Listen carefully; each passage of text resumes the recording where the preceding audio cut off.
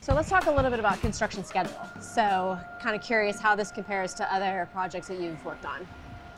Uh, a typical concrete building of this size, we would do about a floor in eight days or 10 days. Mm-hmm. We're currently doing floors in five to six days Wow. with the timber. Mm-hmm. We could walk through here, but you wouldn't be able to do any work.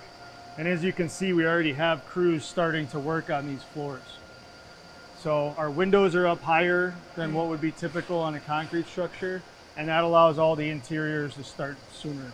And so in terms of being able to place the columns, how quickly are you finding each column's being placed? So we fly up bundles of columns mm-hmm. off the truck. We have somewhere around three picks for all of the columns. There's 64 columns on a floor. Wow. And once they're up here, we will set all of them in about a day. Wow, that's pretty impressive. Yeah. And then the beams follow suit. Maybe we talk a little bit of the staging in general. So you place the columns, and then the beams. Do they also come in, uh, come up in batches?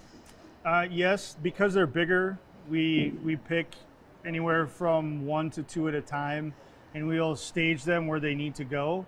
And then once we have them all up on the deck, we'll install all of the beams.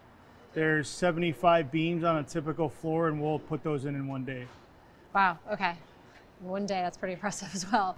If you've been inspired here today to lean into the knowledge being shared and you want to learn more, feel free to reach out to Woodworks. We are staffed with engineers and architects that can provide free project assistance on any commercial and multifamily project, really of any size.